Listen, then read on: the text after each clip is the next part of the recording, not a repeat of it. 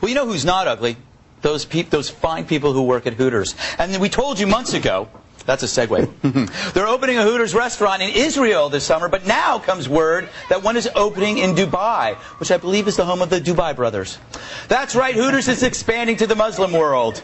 One of the investors is not expecting any backlash over the Hooters staff uniform, saying it's no more revealing than anything worn at the beaches.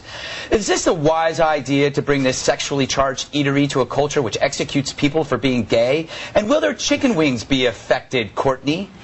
well, Dubai is pretty Americanized. Like I was actually considering going there for a trip, but mm-hmm. I mean, mm-hmm. it's it's apparently just like um, any other place that's building. It's a lot of commercial tourism and yeah. everything. Uh, so I expect fully that Hooters will be there. There's a ski slope in the mall. Yeah, yeah it's about as fundamentalist as Pittsburgh, Greg. I mean, if this was in Tehran, that'd be a story, and there'd be a lot of dead hooker waitresses.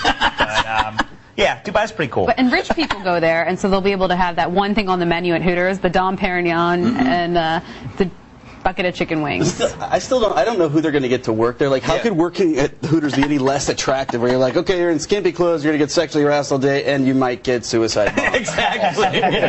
Maybe. And what do you recruit them?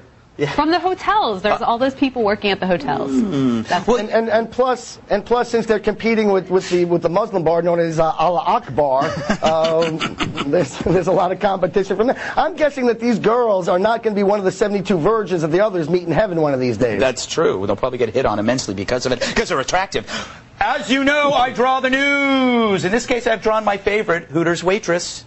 I met her in Fort Myers, Florida. And as, as you see, she has the head of a unicorn. I invited her back to my place where I tied her up, much to the pleasure of my cohort in crime, Fluffy McNutter.